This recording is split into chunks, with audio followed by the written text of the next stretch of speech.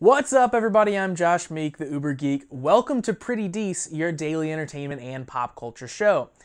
Today on the show, we're going to talk movies because the trailer for the upcoming film Mortal Engines dropped this week. This is coming from producer Peter Jackson, who obviously has a uh, very good pedigree when it comes to feature films. Mortal Engines is this kind of weird, wild, out there concept for a film, and I've been anxious to see more about it since the initial teasers came out originally. So the premise for Mortal Engines, it's set in a post-apocalyptic world where civilization is basically gone mobile. So there are these kind of impossibly large vehicles that roam the wasteland and they house entire cities of people and everything that those people need to live. Um, imagine if, if the world's largest cities in suddenly started, uh, you know, sprouting tank treads and driving around. That's exactly what we have here. London has gone mobile, has become one of these giant vehicles. Now, Post apocalyptic movies are a dime a dozen. We get a ton of things set in a world past civilization as we know it. But this takes post apocalypse and sends it off in a completely fresh direction. But because of that, it might be kind of a hard sell for people. It is a very just weird concept for a movie. It's based on the novel of the same name by author Philip Reeve, and it's certainly one of the most unique movies we have coming down the pike. So, this movie has the potential to do an incredible amount of world building, showing us a universe that's completely new and different from anything we've seen before, making us want to spend time there, explore the world, get to know its ins and outs. You know, the, the best movies and, and TV shows that do this are things like Firefly, The Fifth Element, Lord of the Rings when it comes to fantasy, Pacific Rim when it comes to giant robots. These movies show a world that's radically different than our own and leave us wanting to know more. However, it could also fall on its face, and all of the serious drama that it's trying to portray in this world might come off as just absurd because it's set against this backdrop of giant mobile cities that's inherently unbelievable.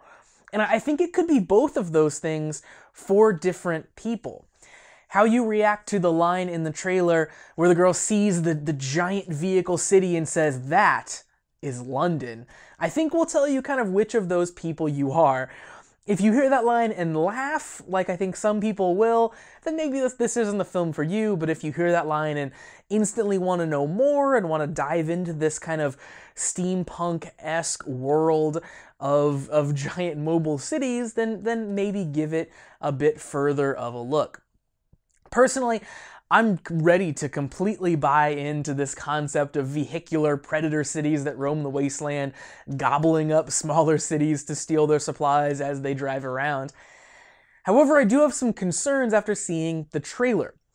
Some of the things in the trailer seem a bit too clean. I, I think they're going to have a hard time, at least with me, justifying how things can look so nice and normal, yet people don't want to go back to their normal non vehicular city lives.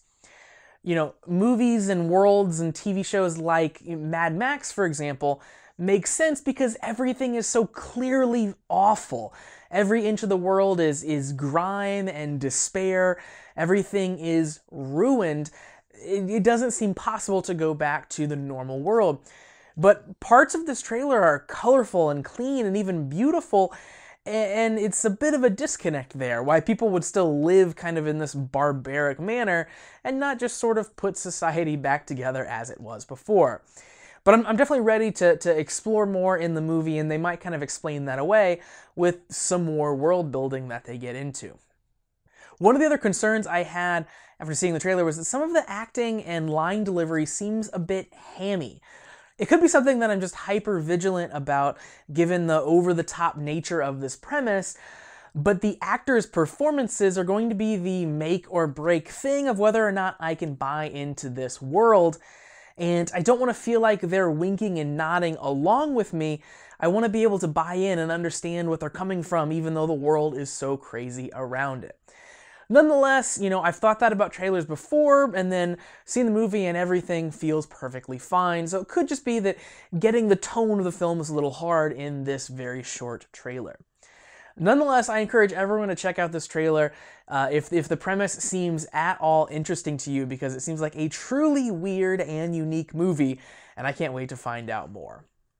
So that's going to do it for Pretty Dece for today. Thank you very much for joining me to talk about Mortal Engines. If you like this show and want to see more new episodes of Pretty Dece premiere weekdays at 8 p.m. Eastern on twitch.tv slash Pretty Show. You can also check out the daily episodes on the podcast feed or the YouTube channel. You can find that at prettydeceshow.com slash video. Finally, catch me on Facebook and Twitter at Pretty Dece Show.